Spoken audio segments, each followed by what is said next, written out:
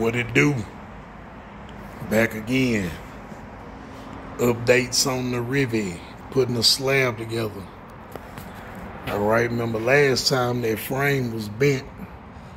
Okay, now they got my gap right. My transmission not sitting on that part down there no more. Got my wheels straight. Well, I gotta go get alignment, but it's sitting straight. I went on and put my new door on. Got to put on my chrome piece down there. I got this sitting up there. So, so far, so good on the Rivy. I went on and put my new compressor on because the belts kept squealing. Y'all remember that in the other video. Got my new compressor on. I ain't gonna put my fender on until I change all of this out. All my new AC stuff. I saw some steam coming out my vents in there. So I know that's my uh, heater core leaking. So I'm gonna change all of that. And then I wanna take that old school 80s blower out there. I wanna see if I can upgrade it with me a, a more stronger blower. So when I got the top down and the AC on, still blowing hard like a new car. But yeah.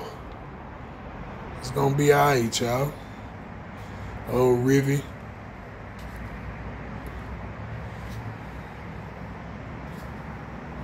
Gotta put my top on. So far, I got my mind on going chocolate, y'all. Chocolate top, chocolate insides. But yeah. Another update on putting the slab together. We got the frame bent. We got the suspension looking straight. Oh yeah, I got a lot of front end stuff to do. Let me see. I don't know if y'all can see down there, but that CV joint boot is ate up. So I'm gonna order the CV joints, get all new bushings, get all that rusted stuff off of their shocks. While I got the fender off, at least on this side, that'll make it easier for me. You know what I'm saying? So that's cool. all of this is, it'll make the job easier without putting the fender on. Changing out all this is literally like right here, you know what I'm saying? So, everything else good, y'all.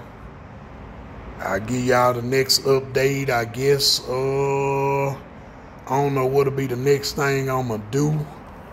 I guess